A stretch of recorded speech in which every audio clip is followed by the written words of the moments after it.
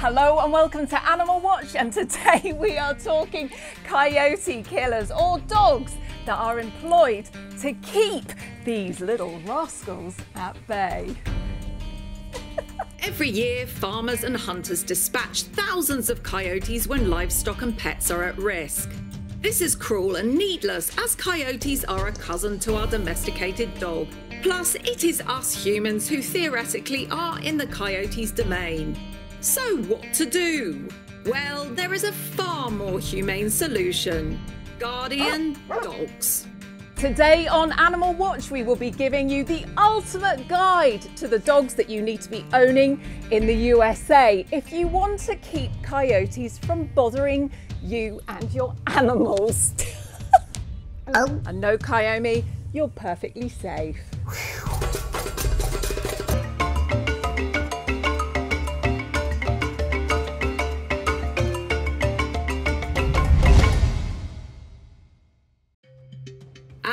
Has provided you, our viewers, with multi million viewed episodes on the world's toughest wolf killer breeds. Dogs employed to watch over their flocks across Europe and Asia, providing an effective and humane management of the animals. Most of the time, the wolves are not harmed as the dogs do not catch them, and this organic approach means that not only are the flocks managed with far less loss to the farmers, but the simple canine presence is enough to suggest to the wolf that there are easier meals to be found elsewhere. Now, with the extermination of the wolf in the USA, coyotes are popping up to fill the void. Native to the western two thirds of the USA, coyotes began dramatically expanding their range in the early 1900s. They've increased their habitat across North America by 40% since the 1950s, twice the rate of any other North American carnivore, and now live in every US state but Hawaii, and news has it they're on their way down to South America. Ole. So, why are they so successful? Their numbers exploded when the wolf was virtually eradicated. Wolves used to balance the coyote population by killing them when they came into their territory, and also competing with the coyotes for food. But now, well, it's another case of nature out of sync due to man's intervention. As well as having no predators or competitors, coyotes are lone hunters and scavengers, which come together to breed only once a year, which means that they can successfully live virtually unseen in urban as well as rural areas. Much like the red fox of Europe, by quietly and elusively getting around unseen and surviving on any food, including vegetables and rubbish that they find. Wolves are much larger and often move as a pack, drawing far more attention to their presence. So, what to do? So, what do humans do? They just start killing animals when things go out of balance, suggesting that it's for conservation. When they could have just left the wolf to do his job instead of balancing nature with bloodthirsty hunters who kill for thrills. 400,000 coyotes are killed annually in the USA, but it doesn't work. And I'll tell you why it doesn't. Like the game Whack a Mole, killing coyotes only creates a habitat vacuum, giving their competitors a chance to move in. For example, if you kill one coyote, you open up territory to a new one who needs it, so you never ever remove the coyotes from your area. Beyond that, coyote biology is perfect. When the rate of killing goes up, nature steps in. Young coyotes mature much faster and females produce larger litters, nature's way of trying to rebalance any upset. So, if you can't eradicate them with violence, what's the solution? Dogs! Yes! Flock guardians! Dogs step into that void that wolves have left. Thanks to man creating this void to start with. But all is not lost. We have five excellent flock guardians to show you today. All great dogs that love and protect their human family too. So you can have a pet as well as a saviour. Just make sure you have a large fence garden, or lots of land, as none of the following dogs appreciate being kept in a tiny flat or a little garden with a patio. They also need land to defend, as it's in their blood to do this.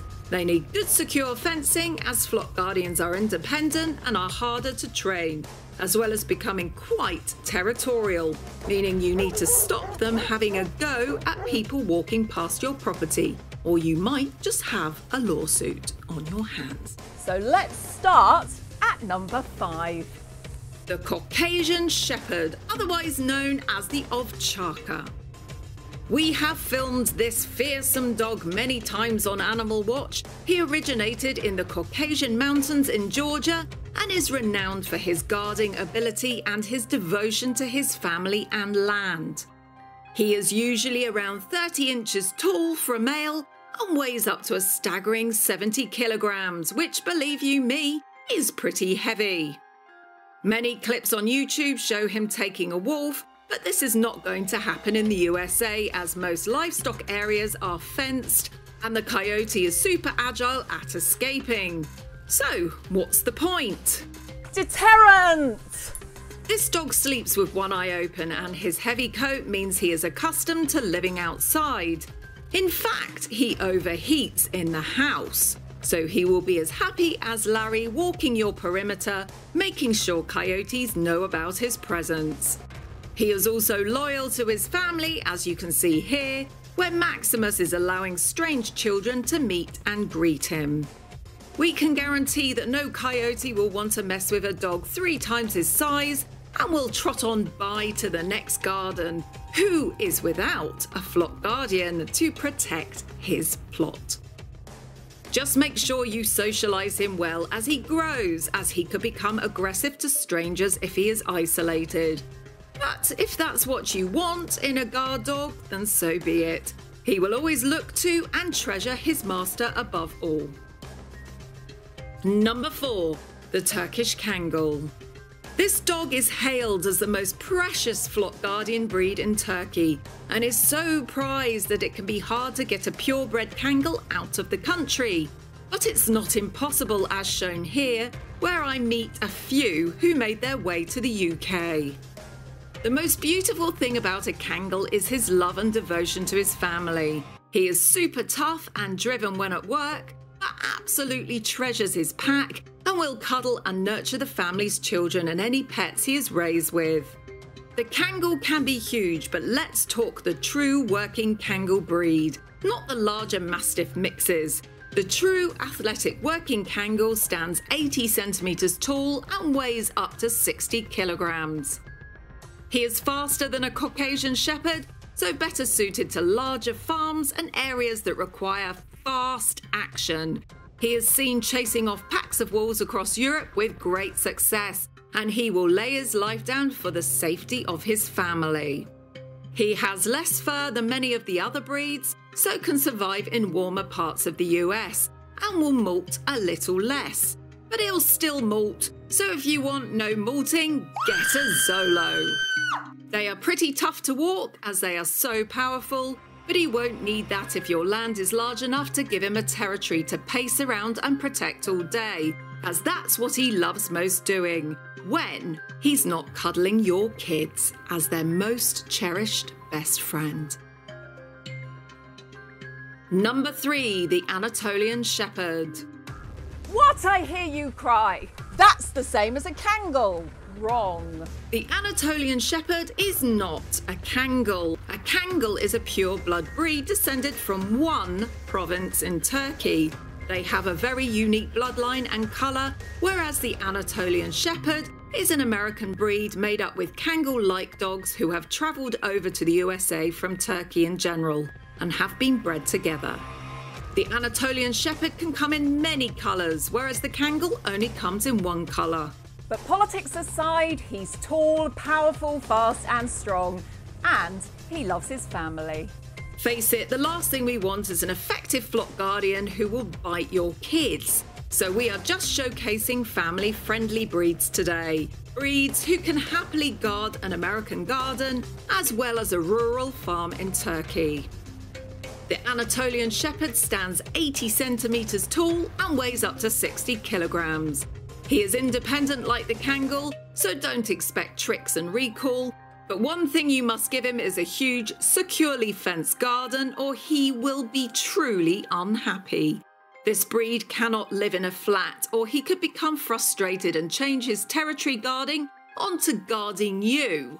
Which means next time you walk down the road with him, he might just defend you, and we don't want that. He adores kids and is a gentle giant, so if you're having trouble locating a Kangal, then the Anatolian Shepherd is your next go to obtainable and effective coyote prevention dog. Number two, the Maremma Sheepdog. Now we are getting into floof bag territory. You want a dog to stop those coyotes from raiding your garbage and running off with Kitty, but the kids want something cute and fluffy. They're not that enamoured with the huge Kangal types and a little scared of the Caucasian Shepherd. They keep asking for a Golden Retriever or a Labrador. So why not give them an effective flock guardian who looks like he could be a big, shaggy Labrador? Meet the Maremma Sheepdog. This majestic ancient flock guardian comes from Italy and has a wonderful track record of being an effective defence against animals such as foxes and wolves, so will most certainly help defend your garden against coyotes. Plus, he loves kids and cuddles. He stands approximately 73 centimetres tall and weighs up to 45 kilograms. And just remember, he has a huge, thick coat, so probably not suited to warmer climates. And his fur will fall out all over the house and car. Won't it, Kiyomi? Hmm?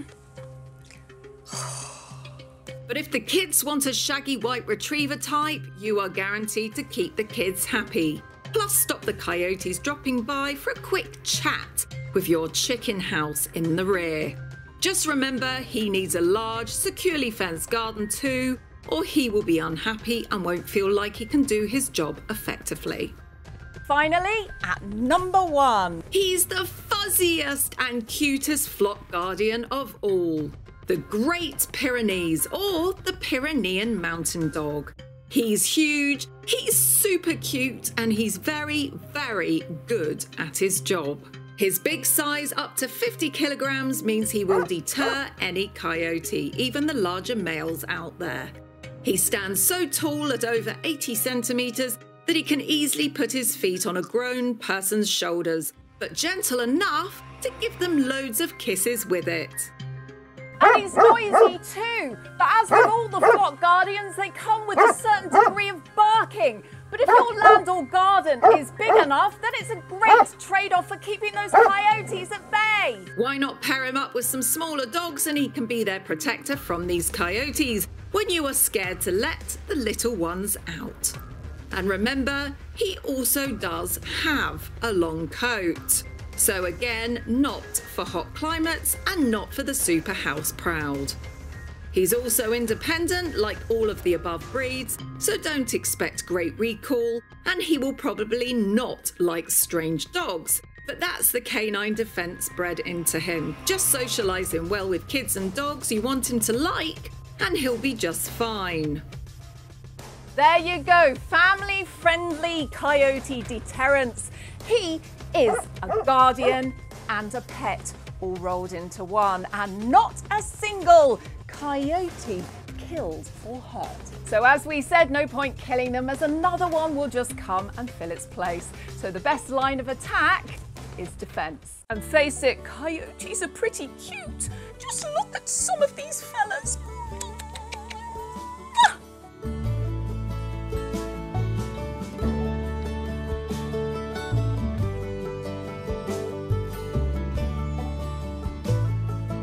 And if you fancy a little coy dog as a pet, then just take a look at these little cuties bred by Mark Klemperer, who breeds coyote mixes to actually live in the same house as you.